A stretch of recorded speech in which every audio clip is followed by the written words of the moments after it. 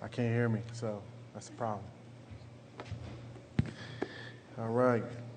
I am uh, going to continue the series, Tackling Evil's Triple Threat. I've been thinking about this since Mike did his thing last week about how best to do this, and so um, how to best look at the text. And the way I do it best is to think about people in my life that um, I think need to understand that. Like people that I work with who are struggling with habits that they can't break or don't seem to be broken, and they claim the promises of the gospel and believe in the Lord and yet still struggle. Or like the men and women who I get the chance to meet who struggle with being victims of some sort of uh, trauma, some sort of attack or an assault. And they're trying to make sense of what it was that drove the attack. This passage is puzzling because Paul makes a promise and we'll look at the promise he makes. But more importantly, um, we'll look at the focus that that promise forces us to take. Because if we take the right focus, if we take the right focus, we can live the way Paul is challenging us to live. I want to read something to you from um, Chuck Swindoll in a book called Seasons. Um,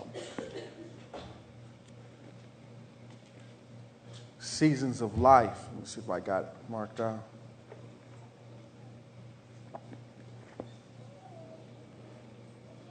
oh. Maybe I won't be reading something for me. So I'm not going to stand up here and try to find it. Ah.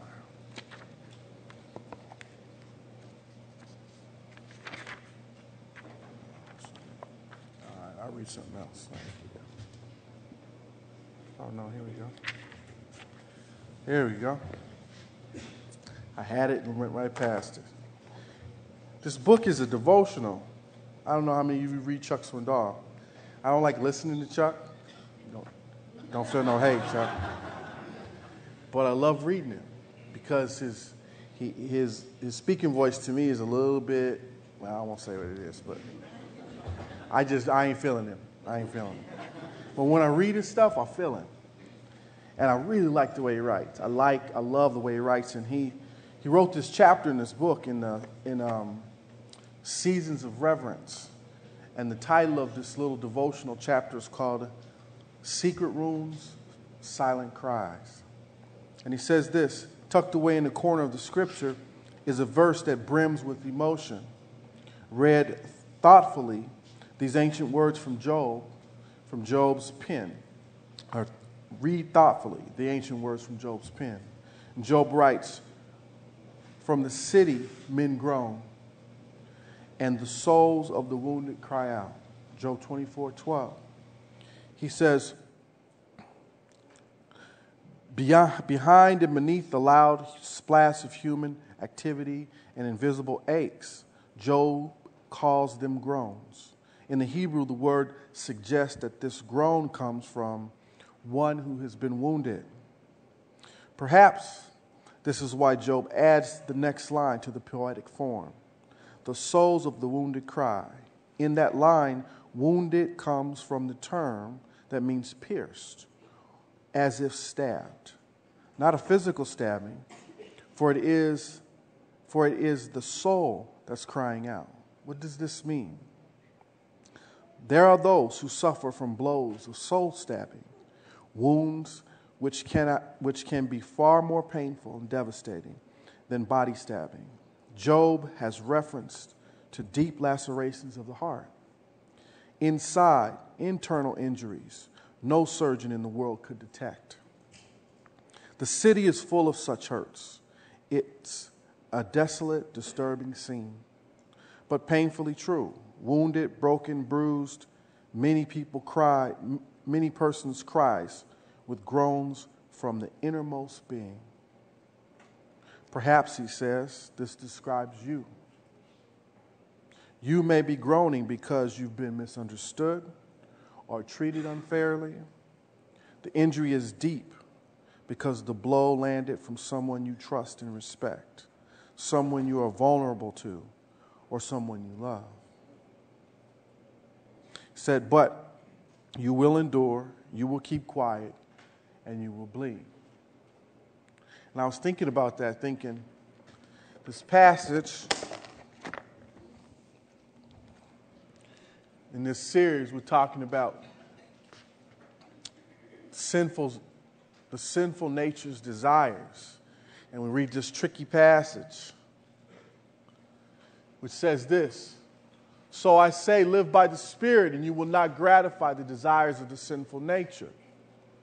For the sinful nature desires what is contrary to the Spirit, and the Spirit what is contrary to the sinful nature.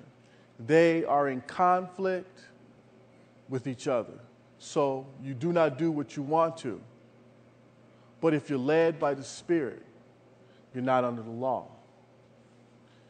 Now, I thought that that passage to say if you're led by the Spirit, you shouldn't mess up. Anybody see that same version in there? If God's inside you and He's running things, you shouldn't mess up. You should be able to do it perfect. But that's not what it says. So let's look at this and break it down. There's a parallel passage in Romans. I put it in your um, insert. It's a parallel passage in Romans, and most of the commentators put these together. In Romans 8, it says this Those who are dominated by the sinful nature think about sinful things, but those who are controlled by the Holy Spirit think about things that please the Spirit. If your sinful nature controls your mind, there is death. But if the Holy Spirit controls your mind, there is life and peace. For the sinful nature is always hostile to God. It never did obey God's laws, and it never will. That's why those who are under the control of the sinful nature will never please God. But you are not controlled by your sinful nature. Some of y'all saying, huh? You see me last night? You wouldn't be saying that, Paul, if you saw me last night. Of course, I was on the ball court, so I, you know, I, was, I was okay. But the, the night before that, it wasn't good, right? You are controlled by the Spirit, and if you have the Spirit of God living in you, and remember, those of though that those who do not live have the spirit of Christ living in them are not Christians. So we have the living spirit in us. The emphasis is a little bit different, but the teaching is the same. There seems to be, according to the text, a set of desires that our sinful nature is wired for and there seems to be, to the contrary, desires that the Spirit aspires to. Now, some of us confuse the following verses that follow after that with what those are. There's a list A and a list B. One's called the signs of a lustful nature or the signs of the flesh, and the other one's called the fruit of the Spirit. Okay? But that's not the deal. Those are the results of desires. See, we live in a place where our desires are in conflict. But if you're sitting in this room and I'm looking at you and you and I can see you and you can see me, of course you can see me, but you don't know I can see all y'all looking like this. I can see you. And if you're an eye distance of me, then, the, then God's Spirit's in you whether you believe it or not. And what Paul writes is those two desires are in conflict, but he doesn't write them that they're in conflict as if there's going to be a stalemate. See, what happens is the spirit that lives in you is mighty through God to the pulling down of strongholds. and it will overcome. It will overcome the sinful nature. Now, here's what we need to understand that process, because I know some of y'all want to know when. Okay, so when is this going to stop? For some of y'all, for most of us, it won't stop till we get home. There is a casket we have to go through to get to the other end. But I'm telling you that it will change. The other thing that that list A and list B creates that I want to talk about on the front end is it creates an external focus. It creates us looking at our navels. I'm not going to show you mine because it sticks out, so I'm going to show it to you. But we spent, spent a bunch of time looking at our navels because of the list. So, how am I doing? Is this list A or this list B? Okay? And that isn't Paul's intention either. Now, knowing the law is supposed to do something, you know what that is? The law is supposed to do something. When you're a believer, the law, the law is supposed to identify a problem.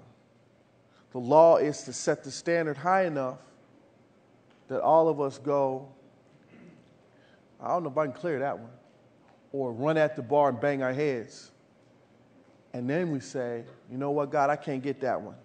Can you get it for me? The law's job, Paul calls the law a tutor. And a tutor was a person that got a kid from the house to school. Did you know that?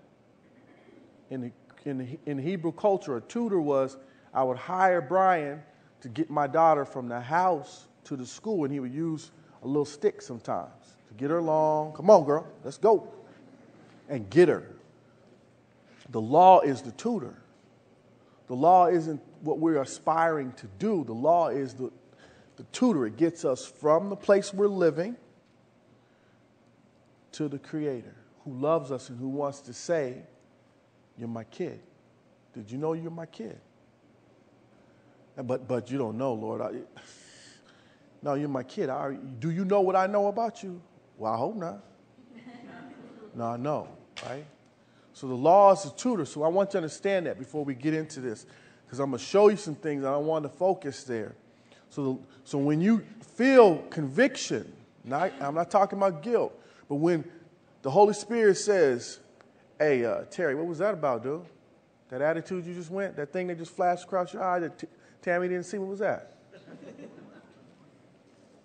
and he might say, man, Lord, leave me alone right now, man. I'm in the middle of this. But when he gets that flash, that's not God saying, I'm going to smash you. It's God saying, hey, man, you know the standard? Look where you at. And Terry goes, I thought I was like this. Bam. And then you look up and there's a hand reaching down. Okay? So that's the job of the law. Now, I want to make another distinction I found out. As I'm studying, I found out this that in the days when Paul was writing, we had a different, different situation when we looked at government policies. See, Paul's language made sense to the Hebrews and the Jews there and the Roman Christians there because the governmental policies and procedures. Let me just ask you this question. Now, you got to promise me you answer it honestly, okay? I got your head. Let me see this. Do this for me one time. I don't see everybody. I will stand here till I see everybody. Here's what I want to ask you. How many of you went two miles over the speed limit coming to church this morning? Raise your hand up. Okay? Raise your hand up high like that so everybody, so you look around, everybody can see we wasn't alone. Okay? Now, here's my question for you. Did that two mile infraction of the law, it was breaking the law, y'all. I forgot, I got to get my friend the officer because he saw all y'all. It was breaking the law. Here's my question Have anything to do with your faith? I can't hear you. Talk to me. It have anything to do with your faith? In Paul's day, the belief was adherence to the law brought favor from God. So when he said we're not under the law, that was a radical thing to say. Because what he was saying was complying with the law and doing good stuff according to government procedures is not going to get you in with God. Did you hear me?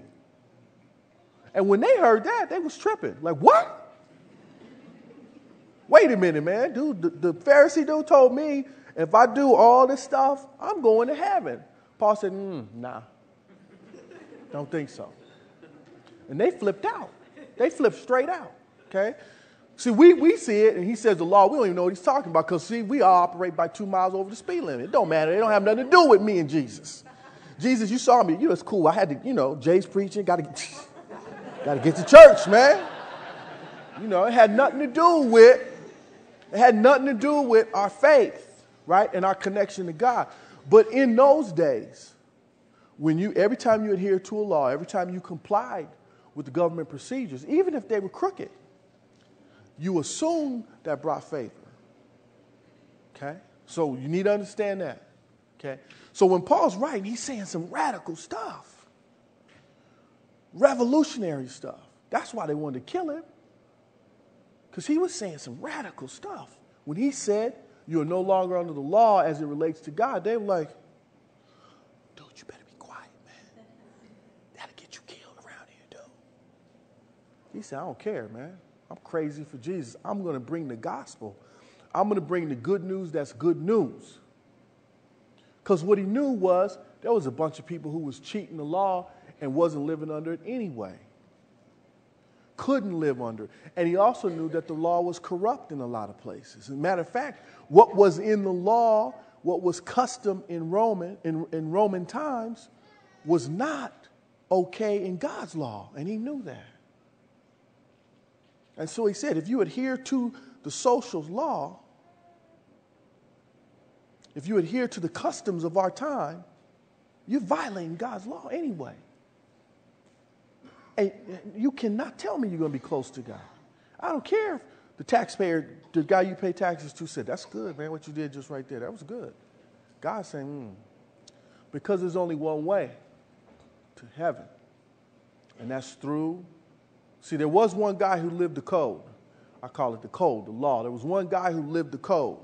There was one guy who joined Weight Watchers and dropped the weight. Right? Y'all just see, y'all heard me that one. I see a whole bunch of faces like, oh, we know. Because see, we are, code is everywhere. You know, my daughter goes to school and everybody's wearing Abercrombie and Fitch or whatever that is. That's the code, right? If you don't wear the code, if you don't adhere to the code, people are like, you must be a freak, man. You don't shop at Abercrombie? Hey, I can't even say it, man. right? It's a code. It's a code. That's why TV works. TV says, you're breaking the code, but we got the stuff for you. You're breaking the code. You heavy? You feeling a little puffed up? We got this Nutrisystem food for you. You just eat it and. Right? And so the code goes. That's that's what we, so that's the law. Law is everywhere, everywhere. Anything that says do this and don't do this, that's code. Anything. My wife used to work at Citibank. They audited her phone calls. She would get accounted for all the quotas. She had to make 60 bazillion phone calls in two minutes. right? And then supervisor like, huh? What? What? You under the code. We all live by code, right? So that's the thing. So he says, you can't make it living under the cold. Now, some of you know that because I see you in here when you first, before I start talking, you was doing like this. See, because the cold makes you tired. I call it the cold dehydrates you. It takes all the juice out of you. And some of you, some of you, the cold was broke from outside, and some of you, you know your cold's broke inside. Most of us have both struggles. Okay, so let's look at that. And we clear then. Okay. All right. So, what does the sinful nature desire? What does it desire? Well, I'm going to tell you. Because that, that word desire, that's just one word. I looked it up 15 different ways, backwards, spelled it backwards, put on a turntable and turned it backwards to see, to see what desire was. And here's what I found out. Sinful desire desires that we live like slaves. Now, I can say slaves because it means something to me, right? It means something to me. The sinful nature desires that we live like slaves, that we live under the burden under the burden of law, under the burden of the code, under the burden of the weight, under the burden of whatever it is you got anger, envy, jealousy. You know, we always raise up the big ones fornication, adultery, blah, blah, blah. I'm telling you, there's some termites in there that'll kill you. Jealousy will kill you, envy will kill you, bitterness will kill you. Bitterness will take you to the hospital quicker than some of the other ones will. Okay? But he wants us to live under that. See, like this drama said, I can swim, Haley said. This feels kind of good. And then it turned, got her. And as soon as you get in it, it feels good. And then as soon as you try to get out, see, a fish don't know it's hooked till, you, till it tries to swim away. I was out at Rapid City doing my fly rod, getting zeros. So I went and got my top secret weapon some marshmallows, put it on the hook, dropped it out there, and let the line set. And the fish come, nice sized trout, man, like about, no, I mean, about like this big, you know. Came by, bit the thing. I'm thinking they swimming around. And I could see the line jiggling, right? And the trout ain't doing nothing until I go whoop. And all of a sudden it goes the exact opposite way. But guess what? I got you now. You swallowed it. you sucker, I got you. I pulled that fish in, he had that marshmallow all the way down up in here, right? So I don't know I'm a slave until I decide to stop. I, I, I can't keep doing this. I can't keep thinking like this. And then the sinful nature says, nah, man, you're a slave to this. Watch this. And you can't stop. And you can roll up your sleeves and you know, work out with whoever you want to work out with, you won't be able to stop it. That's what slavery is about. Slavery is the system that we're wired for that on our own power we can't overcome. The second thing that the sinful nature desires is that we live afraid of God, right? Now, look, when we were in our sin, the Bible says there was enmity between me and Jesus. There was hostility between me and Jesus, between me and God. But when I come to Christ, Christ tears down the wall of hostility. There no longer exists heat between. You know, God ain't looking at me like, boy, you don't straighten up. Like my dad used to do when I messed up. You know, my grandma, 4'11, when she had muscles like this, she said, Boy. And I'll be like, Oh, nah. Until one day I came home and looked over her head. And then she told me the story about knocking my six foot four grandfather out. I said, I still ain't gonna mess with her then. okay? Want us to be afraid. Now, here's what I want you to know it makes us not only afraid of God, but it also makes us unwilling to live under authority. See, it ripples. Sinful nature says God's crazy, he got a furrowed eyebrow or he got his back turned to you. And do you know that I did an unofficial survey when I was working in treatment for 10 years? We had to do a program where we talked with recovering folks about, about spirituality. And I did something just on the secret, just to see. I had I always had my folks describe describe God and they would describe him as angry, uncaring, back turned, rejecting, judgmental, blah, blah, blah, blah. And I set him up. And we talk a little bit, blah, blah, blah. And then I say, describe the word father. Uncaring, angry, blah, blah, blah, blah, blah. So what happens is that ripples. And what we find is that whoever's the authority figure in your house, be it mom or dad, if you think God's mad at you, then you probably think she or he's mad at you. And when you're working for somebody, you treat authority like they're mad at you. Now, you only got two options then. I'm either going to, you know, give authority to Bird, like, look at you, man, I ain't got nothing to do with you. You can't tell me what to do. Or I'm going to smile, yes, sir, no, sir. And smile, that codependent smile, Claudia Baxley, you guys do that for me. Smile real big, till it hurts to your face. Smile, let me see it. Now freeze and hold that for about 10 years. All right? Okay? We either got to do one of those two things if God's angry at us. Okay? I'm either going to try to comply or I'm going to assume he's not, he's going to turn his back on us.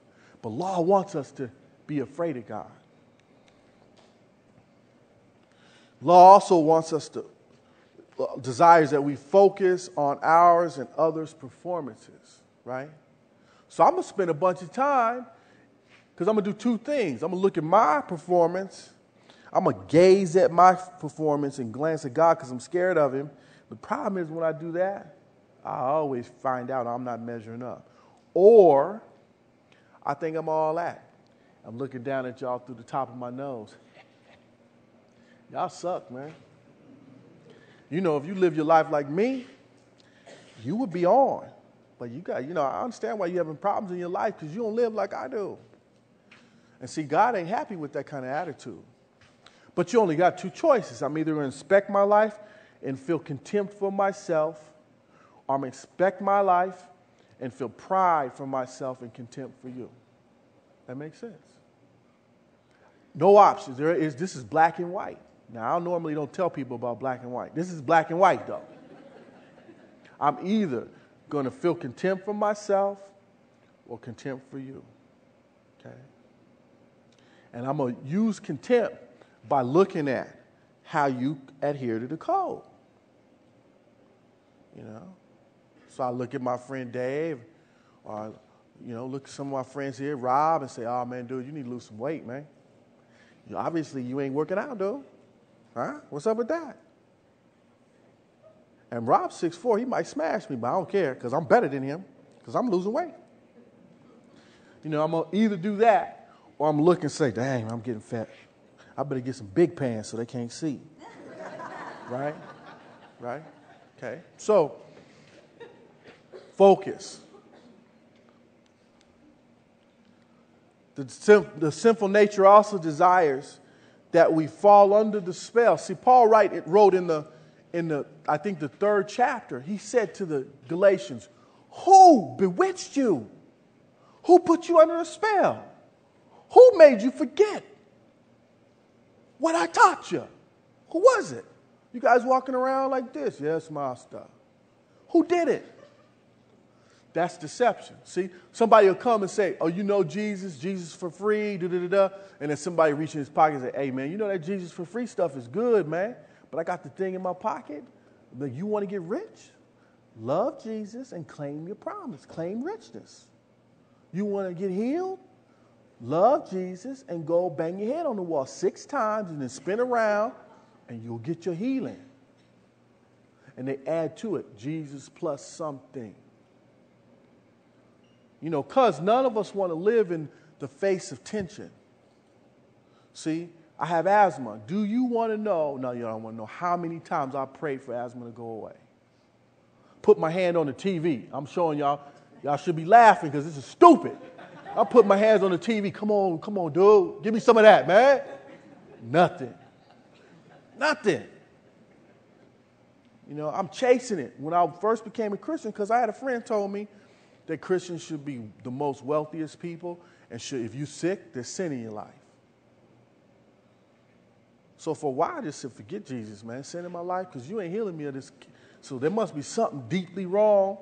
God, I know some stuff, but you mean to tell me that's leading to my asthma? And I had a friend who seemed to have his stuff. He was all shiny, and so it made sense when I compared myself to him. Dang, man, he must be right. And then Mike was preaching a sermon at this other church called The Greatest Sermon Ever Taught. And he taught, and I went, Oh, I can come out from underneath that, man. That's crazy. But it's deception. See, deception gets me to believe things to be true that aren't and not to believe things that are true, right? I believe things to be true that aren't, and I don't believe things to be true that are. That's deception. And the, the sinful nature wants us to be a slave, be afraid of God, focus on ourselves or focus on others' performances, and live trapped under deception. But most of all, most of all, y'all, if I can get this to work,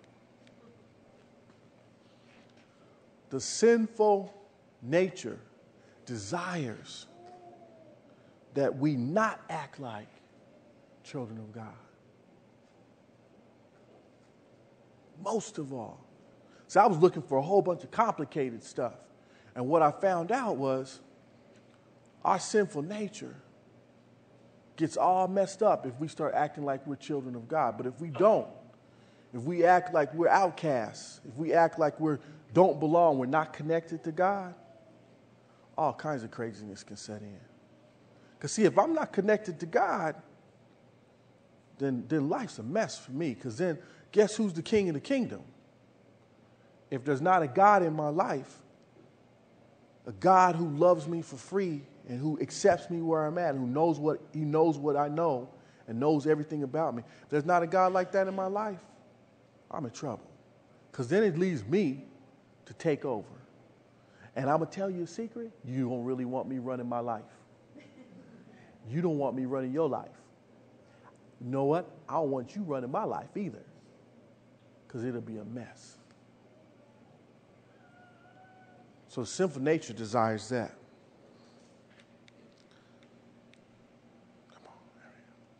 So I, I said this sinful des- desires of the sinful nature.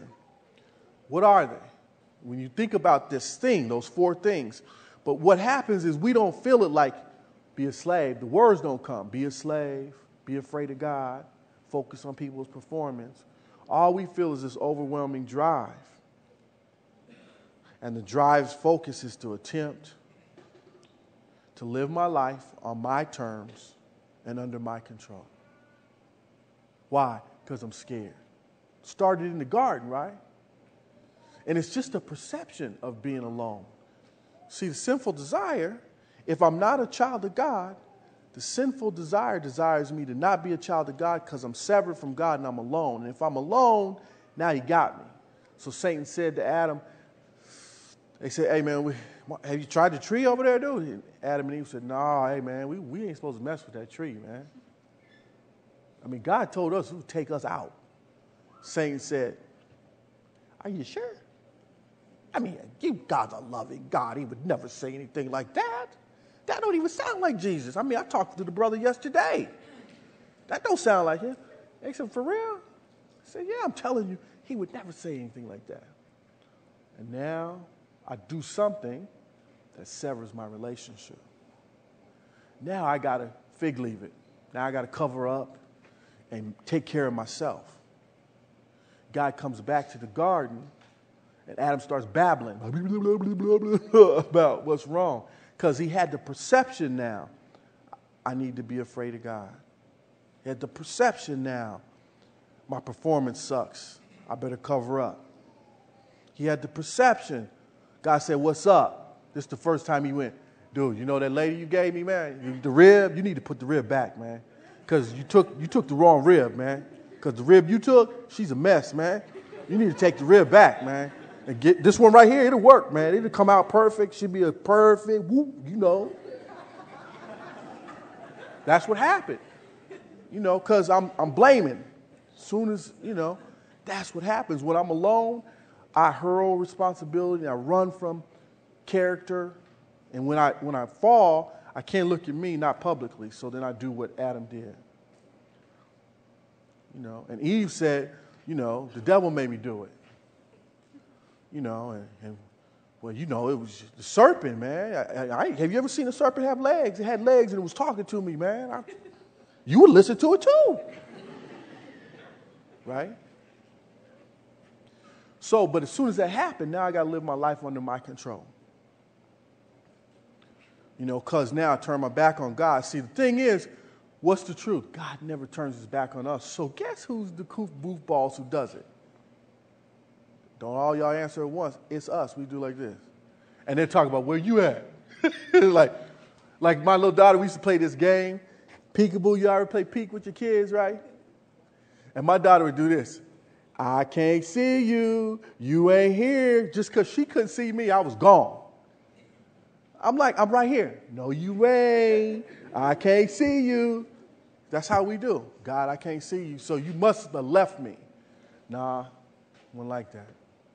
So, so what happens then is the sinful nature goes in and it creates these desires that are opposed to God. Now, the opposition is simply this the sinful desires are opposed to us having a relationship with God that's an Abba Father relationship, a daddy relationship with the Father. And when we do that, then it sets up a bunch of stuff, sets up gratification of my own sensual desires.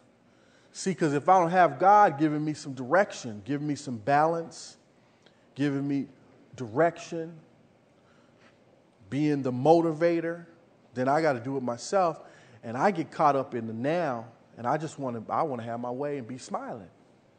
Cuz I don't like tension. I don't like struggles. I don't like hassles. You know, I'm at work and my counselors they won't want to do what I'm asking them to do. So, I know what I'm to do. I'm to go to the bar, get me something to drink. Then I don't have no counselors no more. It goes away. Or you know what, man, I'm tired of working at this factory. Come home, my wife saying, How you doing? I grab the remote, and I'm just a remote addict. And I'm gone. Did you know that you're more relaxed in front of the TV than you are when you're sleeping in your bed? Did you know that? Clicking channels. You know, I'm gone. Those things then turn into substitutes. I start looking to the TV, to magazines, to reading, to whatever I get involved in as a substitute for what I should be getting vertically. So I start looking too. It isn't so much that those things actually, we say, okay, I don't want God, I'm going to choose this. That ain't how it works. It's God's mad at me or I'm mad at God, so I'm going to turn my back. And when I turn my back, I dig a well that won't hold water. And after a while, it, it becomes work. See, the scripture says to men, you know, the curse for you will be you will turn to work and the work will yield thistles and thorns, but you're going to try and convert it. And so men spend a bunch of time trying to convert work into gold when God's already said you're going to get thorns and thistles. And when you eat those, they make you sick, right?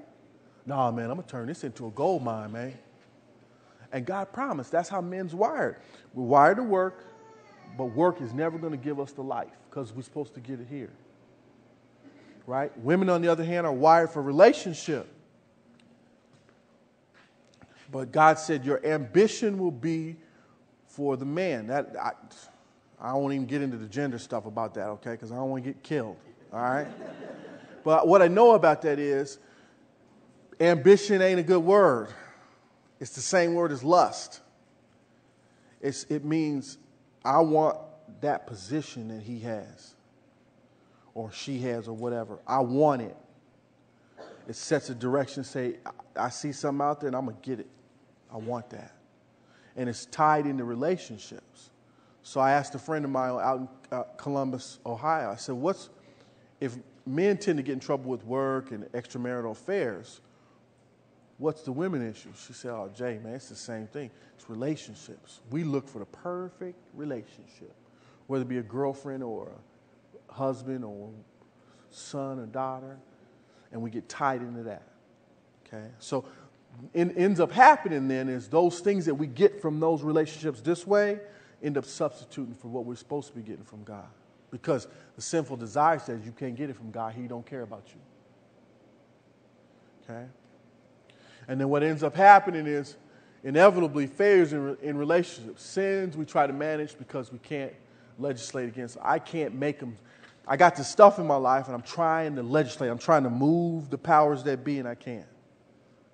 Okay? And it affects my relationships. If I invest in something other than God and people, then that investment captures me. That makes sense. If I invest in something other than God and the people in my life, that investment captures me. It's captivating. And you can't give your love to two things. So I can't give love to my job and to my wife at the same time. I can show you a picture of me in ICU after trying. Right? Y'all think I'm y'all's laughing, but I'm, I'm my feelings are hurt because y'all laughed at me. Because it's for real. I can show you a picture with needles in my neck and beepers going in the tube because I tried to I tried to straddle the fence. I tried to live and give my life to work and then give my family just a little, you know, throw them a little bit is that good? Okay, go back to work. About killed me. Well, my wife would tell you they didn't know if I was coming back, right? And some of you looking at me or you ain't looking at me, this ain't a judgment. I'm just saying to you, And I'm just saying to you, it's not, it's not about curse or whatever. It's just the thing is, if you try to give your, your investment of love to two different things, it'll kill you. So if I give my investment to God, He's going to give me the juice I need. Okay? But that doesn't mean it's, it's tension free. Usually, what we need is tension to get to God. Right? Okay. okay, so let's just look at this, this list a little bit. So, the sinful desire, desire, okay, is the problem. Okay? Desire is where the conflict is. Now, some of you got this thing flipped around. You think these behaviors I'm to show you is where is the issue. They're not the issue. I'm only showing them to you because the law, you need to know, okay? But it's not the issue. The issue is my desires are in conflict, okay? So, some of us will struggle as a symptom of crazy desires, unrighteous comparisons. And that's where envy, jealousy, and greed come in. I'm not going to even cover them a lot. Just want you to, unrighteous comparisons. There we go. Some of us will struggle with unrighteous demands. Unrighteous demands. So, anger, dispute, strife, intimate. I can't even say that. I ain't gonna try to say it. I always mess it up. And factions. Okay? So those are demands that are unrighteous. They're not the kind of demands that, as I live under the Spirit, I start to understand. Now I have them. All the stuff I have. Paul didn't write, he was writing to Christians. So these are stuff that he said, this is in y'all. I see it. Don't focus on it, but it's in y'all. And if you let it do what it's supposed to do, it brings you to God. Now, if I ain't gonna ask you to raise your hand, but anybody see themselves right now? No, I ain't looking. I ain't looking. You see yourselves. Don't mess around and talk about I gotta fix that. Man, I'm envious, man. Jeez, he just put it up on the screen, didn't he? Damn, go. Why you had to do that? You wrote this for me? No. I put it on there so you can see it and go, oh. So you mean that I'm supposed to go to God with that? Yeah. Because the Holy Spirit in you wants to grab that and turn it. But we need to be aware of it so we know where to go. See, this stuff, I'm just showing it to you so you know where to go with it. There's a doctor that wants to work on you.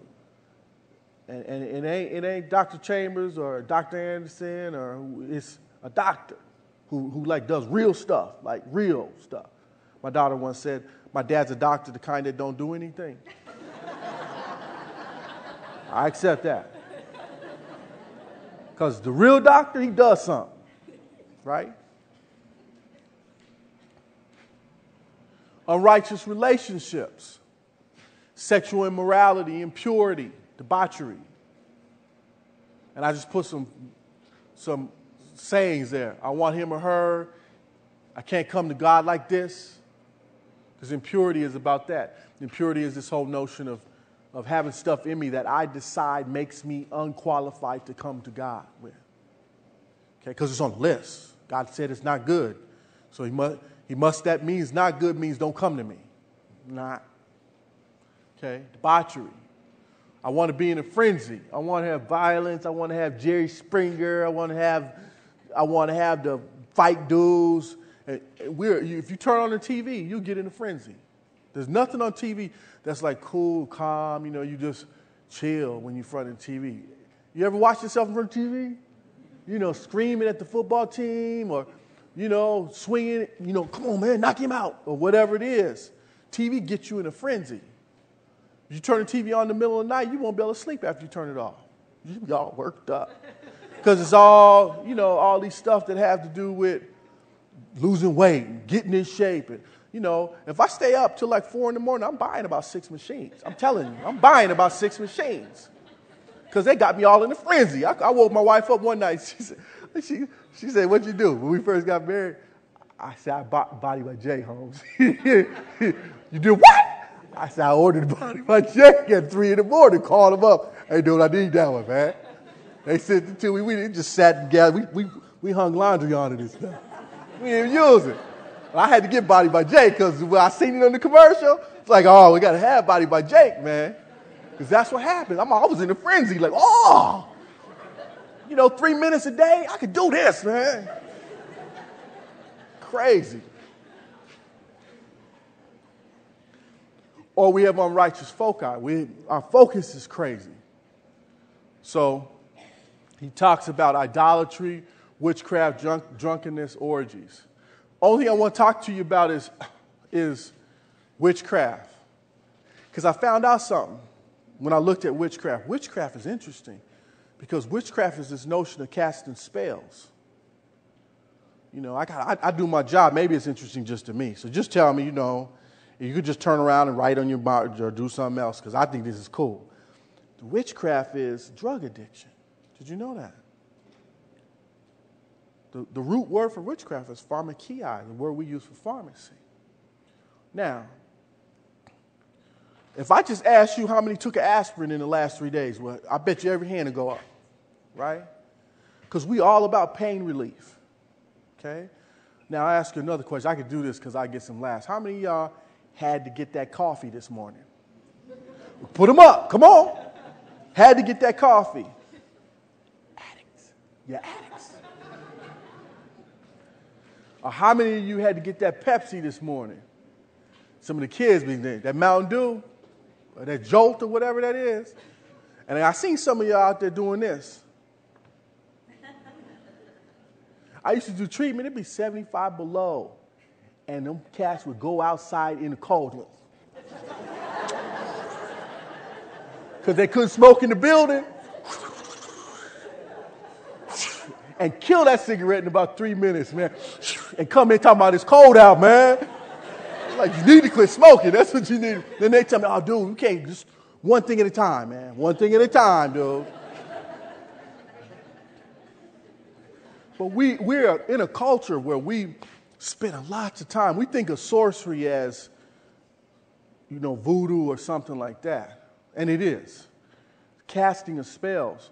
But it's also pharmakeia. It's also my willingness to ingest a chemical to get to a different place. So I say, I want to control it and make things fit. It helps me get my life in order. I talk to kids all the time. Why you smoke dope? Oh man, because when I'm on dope, when I'm smoking, when I'm smoking bud, I'm cool, man. Everything's cool. Yeah, but you know what, man? I used to smoke that stuff. You get stupid. and stupid quick. Nah, man, not me, man. You know, I, I met a kid once and he was huffing, right? Came to see me and I'm like, dude, you, you been huffing? And he, he's all huffed out. Nah, man, looking at me like this. Nah, man. I said, dude, you been huffing, dude? Nah, man, I told you I wouldn't huff, man. I'm done huffing. I said, dude, you got orange paint all over your mouth and your teeth, man. Oh, and he was done. Because when I'm under the spell, I don't know what's going on. You know, some of you work. That's a spell. I'm at work and I'm all ah, everything's fine at work. Some of you, it's the gym. getting it, man, getting it. Got to get to the gym, you know, and you're under the spell. Adrenaline and the endorphins kick in. I'm smiling, and then you don't get to don't get to work out. I got to get to the gym. I haven't been in the gym in two days, right? Same thing. Okay. Drunkenness is this carousing party, run around, orgies. I want to have as much as possible. Okay. So the list is just to say, so some of you hope went, ouch, ouch. The ouch means go to the Creator. Do not try to fix this on your own. You hear me? God put the mechanic in. He's under the hood, working. You just can't see him. Oh man, this gasket's jacked, man. We gotta pull that one out. The alternator's bad. He's working already. You wouldn't be here if he wasn't.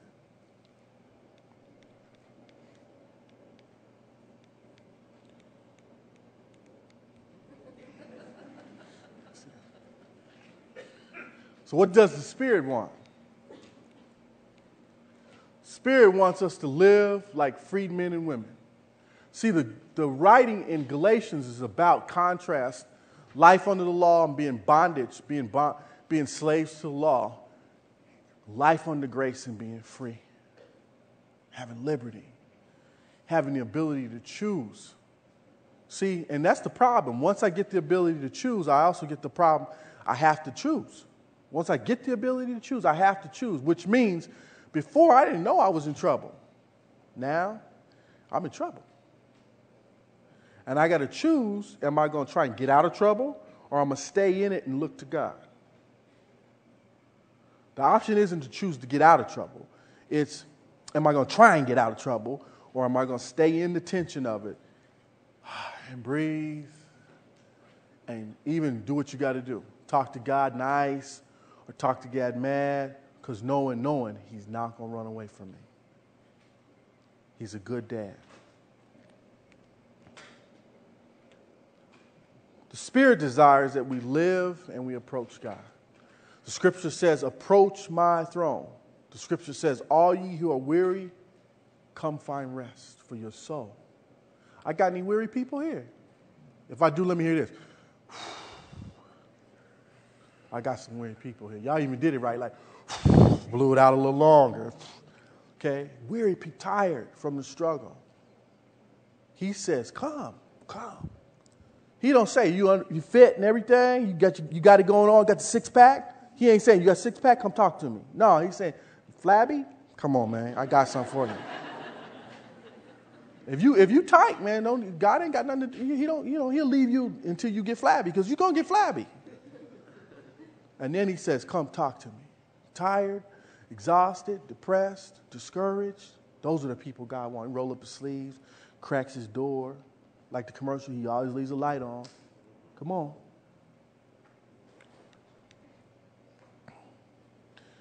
The Spirit desires that we glance at ours and others' performance and gaze at God's promises, right? So I want to take a peek at the belly button. Or I'm going to take a peek at Carrie's. No, I ain't going to take a peek at Carrie's belly to get me in trouble. At her behavior. There we go. There we go. Okay? But I'm not be glancing like, oh, you know, she ain't living right, man. I'm telling you. I'm going to glance at that stuff and gaze at God because I can, and I'm going to live under His promises. I'm going to learn His promises. You know, Mike has this thing he's calling four by four. Learn it. Know who God is, what He's done for us, what He knows about you, what He wants for you. Know that stuff. Okay? Because you're going to need that stuff in the heat.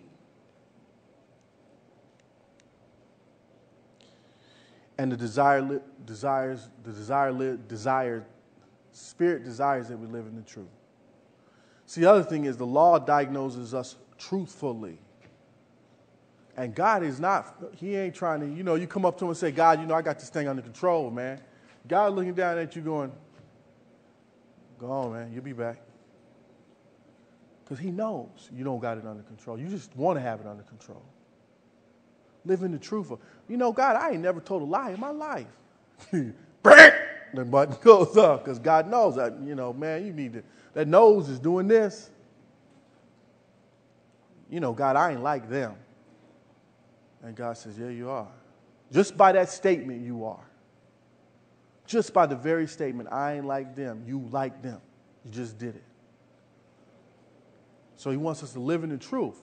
Know who you are know what your struggles are, but also understand this. The Spirit desires that you act like a child of God. You know what? See, if I have a good dad, I'm hanging out with him, man. I'm hanging out with him. I went to a wedding this weekend. Anybody go to a wedding this weekend? Anybody go to the Nordstrom wedding this weekend? And I'm talking to my man Terry, and I'm talking to his son, and they understand what it is to have a good dad son relationship. See, I don't get that because I didn't have it. My dad, I had a couple dads after I got to Sioux Falls. I had some stand in dads when I, got to, when I was growing up. But me and my pops, we weren't tight. So I don't really know what it's like to be my pop's kid. But I tell you what, I know what it's like to be Dorothy Thomas's kid. I know what it's like to be her kid. And when things got crazy, I'm coming to talk to my grandma. We used to have these conversations late at night, you know. And she would ask, like, straight point blank, like, Jay, how come you hanging out with thugs? Like, dang, God, why you had to call my friends thugs, man? They come in our house and steal stuff? That's what thugs do. And I can't argue. I'm like, yeah, they, yeah, they did. I, I, dude ain't coming back to our house, Grandma. And we have conversations. You know, I came there. She was the first person I told I thought God was stupid. I told her that. She tells me I told her that when I was in fifth grade. I came home and said, you know what, this, this Jesus stuff is crazy, man. Y'all crazy. All, all the priests and the churches want is money. I want nothing to do with it. She said, what you going to do? I said, I'm going to pick up a basketball and spin that thing, and I'm going to make it do something. And see, I set my desire. And basketball worked for a little while, you know. Ninth grade, I was a chump. I mean, eighth grade, I was a chump. At ninth grade, I got better. Tenth grade, I'm dunking the basketball. Eleventh grade, I'm playing varsity and junior varsity. Twelfth grade, I'm playing varsity. Freshman in college, I earn a scholarship. Walk on, nobody knows me, earn a scholarship. Then I meet this Christian coach who decides he didn't think I could play. But he's the first man that I ever met. He's the first coach that I ever met that, because he was a Christian, came to me and apologized. And that alone made me start thinking about God again. Because I thought I was going to play pro ball. It didn't happen. But he treated me not just like an athlete, he treated me like one of his kids. He cared about me going to class, he cared about what I was doing, he cared about my asthma, blah, blah, blah. Then I had some crazy people in my life, guy named uh, Mike Bayak and a guy named, uh, we called him Doc, who would share with me. And Doc would talk to me about Jesus like this Hey, Jay, man, I was over at the art center, dude, and I seen them art things you do, man. The Lord can use artists in the kingdom. I'm like, man, you crazy, man. Every any Christian I ever talked to told me I'm going to hell. You telling me I can be useful in the kingdom? He come over to the gym. I know. He was over watching me practice. I'm like, oh, I ain't even trying to go out that door. Doc found me. Hey, Jay, man, can I talk to you? I'm like, nah, man, because I know we're finna go now. He said, man, I didn't know you could play ball like that. I said, I know. The Lord can use hoopsters in the kingdom. he said, yeah, man, when, you gonna come? I said, man, I ain't trying to do that old cheesy, lovey-dovey Christian stuff, man. That's for, you know, for them dudes, man. I... But he wanted me to be a kid. Okay? You guys got to operate like God's children. He loves you. He's coming after you. If you hear, He's coming after you.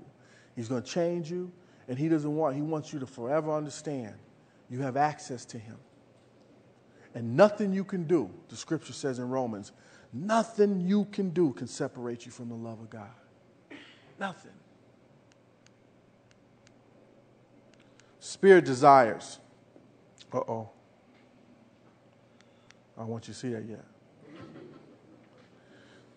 I think the Spirit is overwhelming passion and drive towards God. It eventually will captivate us and it will eventually overwhelm. Now, I'm saying overwhelm as we move through life, not now. It will eventually overwhelm the sinful nature. And it points us towards God because God's friendly and it desires to produce a changed mind and a changed heart. The scriptures seem to indicate that the sinful desires live in my brain. And I, in my work, I see it. The sinful desire can click on in about 11 milliseconds. Before you can blink, I already made a crooked decision. As soon as I perceive fear, as soon as I perceive things not going my way, I make a decision quicker than I can snap. And, and I'm gone. And the Bible says that the Holy Spirit can reprogram the mind. It can interrupt an 11 millisecond decision. See, I'm on that. I'm, I'm all over that. That's what I want. So I'm a, I gotta, I gotta walk in step with the Spirit, meaning I have to keep coming to Christ. What He desires is come to me with it. So I say this Children of God attached to the vine of God's love produces fruit, which are delicious and intended for others' encouragement. So, what are the results of godly desires? Fruit. Now, interesting enough, Have y'all ever seen a tree eat its own fruit? Y'all ever seen this thing go down? You ever seen a tree do that? Man, there's some good apples, man. Never seen it happen. So you hang your arms out there and the fruit drops. Guess who it's for? It's for the encouragement of others. See, I got this gift, whatever the gift is, and I'm loving to do my gift so I can hear myself do my gift. That ain't what the gift's for. Everybody here not only are children of God, but God gave you gifts and talents that you're to share with us. Fruit. Give me some of that fruit. And some of you share your fruit up front, like the drama team did and the music team did. And some of you share your fruit behind the scenes. But God's Spirit does that. So, children of God attached to the vine of God's love produce fruit. What produces fruit? Love produces fruit, not me. I don't do this. Fruit, come on, fruit. God's love produces fruit, and it goes out for other people to have. I think this is it. Let me see. Yep. Okay. So let me let me just give you some tips. On your worship folder, I gave you some tips. In, in summarizing, I just want to say this, and I'm going to read something to you. Tip one life here is tense and full of conflicts. The scripture seems to indicate that our choices will always be bombarded. Tip two let God meet you in the middle of your tension. Some of you are here and you're struggling. And you're thinking, because I'm struggling, God's absent. I'm telling you, the struggle is going to bring you to God. And God wants to meet you in the middle of the struggle. Tip three get to know who God is, what He knows about you, and what He wants for you. Okay? Tip four focus more on God and His love and His promises than you do your performance. And the last tip wait and watch God produce fruit in your life because He will. Because He will. All right, while I'm reading this last piece, I want the worship team to come forward. They told me if I didn't call them up, I had to sing by myself, and y'all don't really want that. Y'all don't really want it, I'm telling you.